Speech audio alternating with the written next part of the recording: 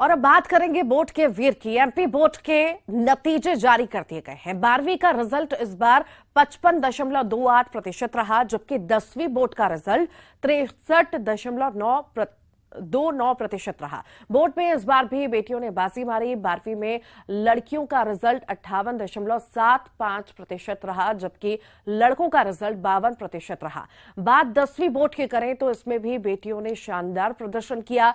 दसवीं में लड़कियों का रिज़ल्ट छियासठ दशमलव चार सात प्रतिशत रहा, जबकि लड़कों का रिज़ल्ट साठ दशमलव दो छह प्रतिशत रहा। दसवीं में इंदौर के मृदुल पाल स्टेट टॉपर हैं। बारहवीं आर्ट्स में छिंदवाड़ा की मौली नेमा ने टॉप किया, जबकि बारहवीं मैथ्स में होशंगाबाद के नारायण शर्मा टॉपर रहे हैं। बारहवीं कॉमर्स में पाँच छात्र पहले स्थान पर रहे।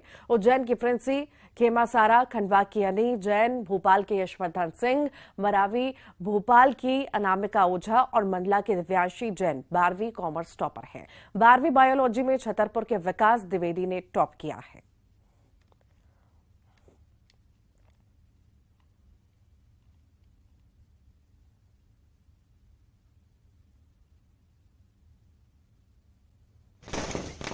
ये अलग अलग जगह की आपको तस्वीरें दिखा रहे हैं। आठ तस्वीरें मध्य प्रदेश की रिज़ल्ट आज जारी हो गया है और उत्साह कहीं ना कहीं देखा गया सभी में एमपी में दसवीं और बारहवीं बोर्ड के रिज़ल्ट घोषित कर दिए गए। इसमें कई जिलों के स्कूलों के छात्रों ने टॉप किया, जिन छात्र छात्राओं ने टॉप किया, उनका फूल माला पहनाकर स्वागत किया गया। ये आठ तस्वीरें आप देख रहे हैं। छात्र छात्राओं में खुशी का माहौल रहा।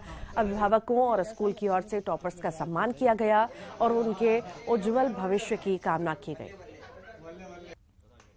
इसी तरह टीकमगढ़, खरगोन, जबलपुर और सीहोर में भी टॉपर्स का सम्मान किया गया और उनके उज्जवल भविष्य की कामना की गई।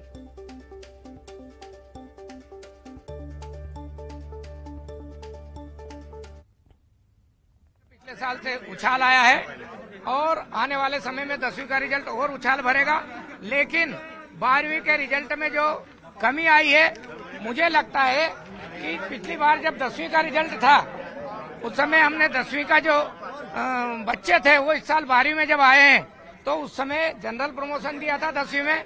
उनका बेस ठीक नहीं बन पाया था और पहली से ग्यारहवीं तक उनको परीक्षा में पहली बार सम्मिलित होने का अवसर मिला।